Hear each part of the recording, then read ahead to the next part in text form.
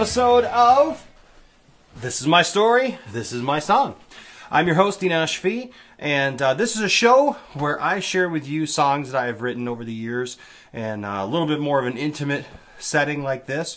Kind of tell you what I was thinking when I wrote the song, how the song came to be, uh, little uh, little tidbits about songwriting and uh, and stuff like that. And uh, hopefully you get something out of it, and uh, we're able to share a connection. So uh, we're here every week. You can find us on Facebook at This Is My Story, This Is My Song.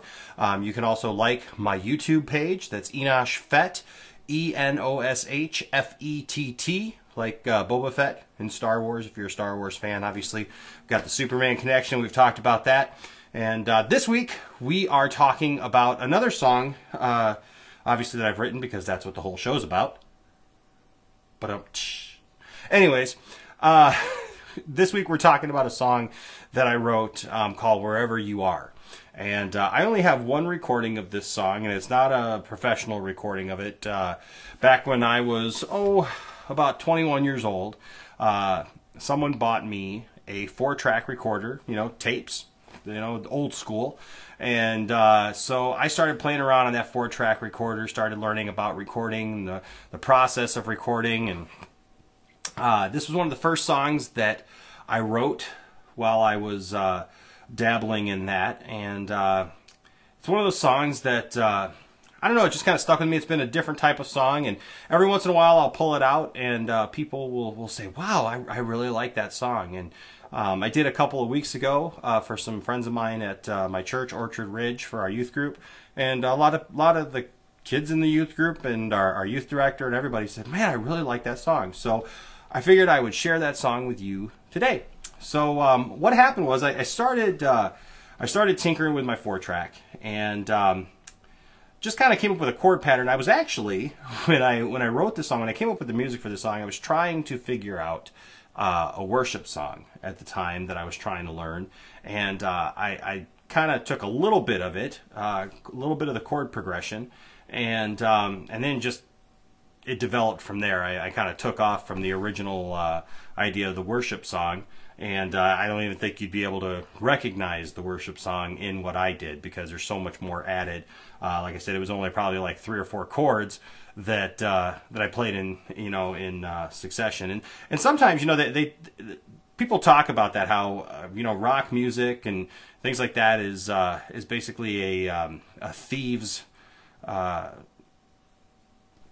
art so to speak. I've heard it called that a thief's art, where pretty much anything that you've heard has probably been done by somebody at some point in time. Uh, so that's why a lot of times you'll hear things that uh, sound the same and um, kind of pretty much are the same. And uh, early on, when you start songwriting, um, you may find yourself doing that. You know that you, even if it's subconsciously, you don't mean to do it. You're not trying to steal somebody else's idea or some some pattern that somebody else has, but you know, you get things ingrained in your head, you know, and then you then you wonder, was that a real song or did I just make that up? I'll never forget until this is no lie, until the time that I was about 19 years old, I honestly thought that I had made up the song uh, Electric Avenue. You know that song, you know, we're gonna rock down to Electric Avenue and then we'll take it higher.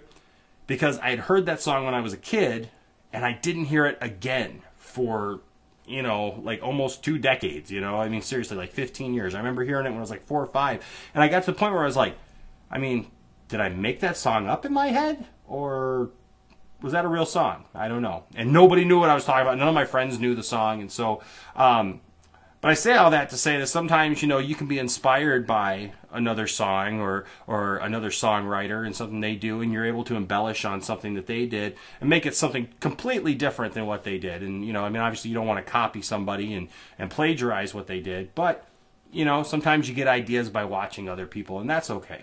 Um, so I, I started playing that, and I, I kind of came up with my own little thing. And, and this song is um, a little different in the fact that uh, there, it's almost got kind of like a an Oasis kind of feel. The band Oasis uh, parts of it were inspired by by a sound kind of like that, and then um, also. Uh, but once once it gets into it, you'll see once it gets into the bridge that it, it almost has kind of like a Santana kind of uh, thing, so kind of like this kind of Spanish flair a little bit. Um, so it's it's a real kind of different song, unique, especially for me. Um, I haven't written a lot of songs like this song, uh, wherever you are. And uh, basically, the song just talks about uh, the, the first core, the first verse is inspired by the poem "Footsteps." Uh, a lot of people are familiar with that, uh, where it talks about how you know I saw footsteps or footprints along. Uh, did say footprints? Footprints along the uh, the beach, and I asked, you know, I saw two sets of footprints, and I was asking Jesus, you know, uh, why is it sometimes I see one set of footprints? And Jesus said to me, That's when I carried you. And so uh, that's what the first verse was inspired. And then the second uh, verse just kind of talks about that, you know, sometimes we we allow our egos to get the best of us. And uh, we think we're a little bit more important than we are. And, uh, you know, the Bible says our righteousness is as filthy rags. So the best that we can do, you know, is nothing compared to God's righteousness and His love and and His and His His very being. You know, it's it's just we can't compare, and that's why we need. Uh, the gift of salvation and forgiveness for our sins, and so that's what the second verse deals with. Some it goes on to say, you know, sometimes um, I'm seduced by pride and think I'm better than the rest, but my righteousness is as filthy rags and fails when put to the test. And then it just calls out to God and say, God, forgive me, you know, humble me, um, you know, and, and make me what you want me to be. Uh, and then the, the chorus just says, Lord, you know, you come through in time, uh, though at times I am blind and I can't see where you are, uh, you know, but I, I, long to be wherever you are. So that's wherever you are. Um, I will play the recorded version off of my four track, uh, complete with uh, a couple of bad notes here and there, but it's it's a pretty decent recording.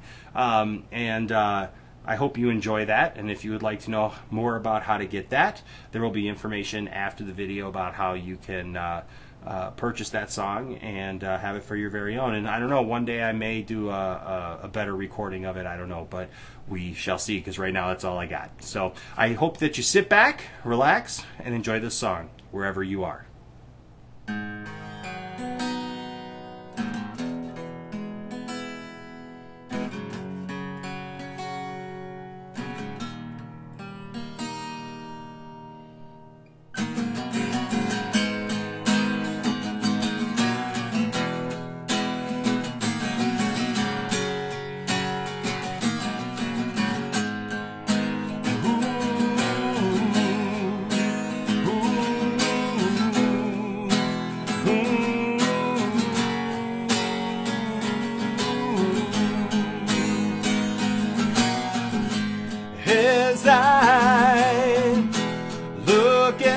Life it seems like walking on the sand. Many times I see only one set of footprints there, made by only one man. Lord, why do you leave me in my time of need? I question foolishly. Then you comfort me, then you remind me that's when you carried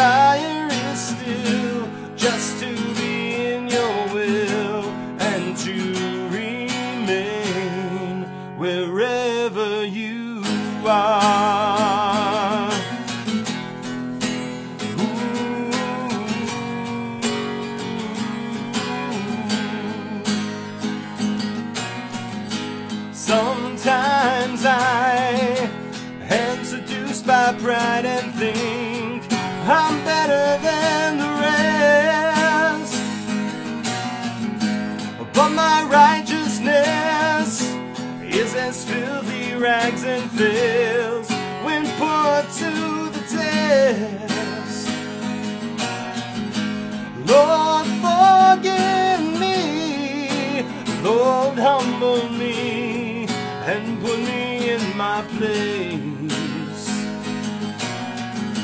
Lord, I long to be a man of integrity, seeking your face. You come through in time, though at times I am blind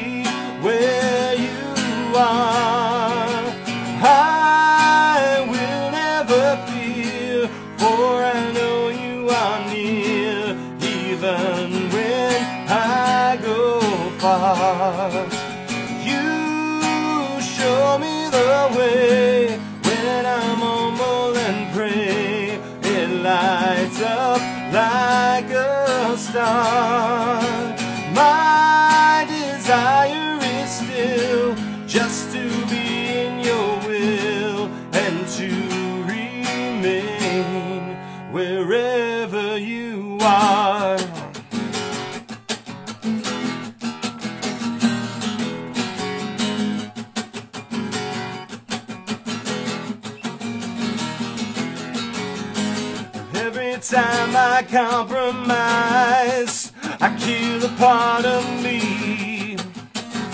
Lord, I kill a part of me.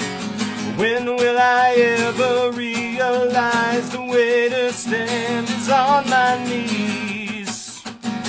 Lord, I'm down on my knees. Everyone wants freedom. They don't know what don't know, they don't, they don't know. When you truly give your life, that's when you're truly free, truly free, truly free, truly free, yeah, yeah. Truly free, truly free, truly free, yeah, yeah. Lord, I long to be, long to be, long to be truly truly free, truly free, truly free. Cause you come through in time, though at times I am blind and I can't see where you are.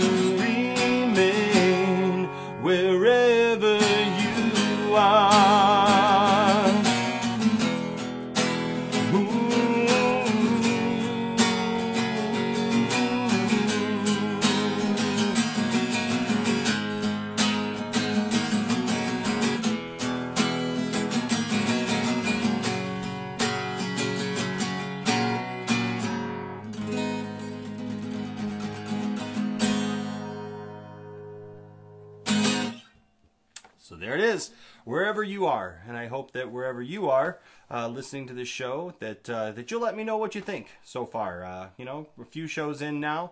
Um, are you still interested? Are there songs that I've written that maybe you'd like me to uh, talk a little bit about and uh, share with you? Uh, how they came to be, or um, maybe you're wondering what they mean. What was Enosh talking about in that song? I'd be happy to uh, share the song that's on your heart. Um, if any songs that I've written have touched you in any way, please let me know. You can email me at Enosh Music, that's E N O S H Music, all one word, at hotmail.com. You can contact me on Facebook, like I said here at uh, the our Facebook page at uh, This Is My Story, This Is My Song.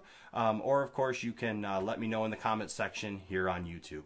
So uh, until next week, thanks for watching. Uh, thanks for your encouragement, and uh, I hope that uh, you're having as much fun on this journey as I am. And we'll see you next time here on This Is My Story, This Is My Song.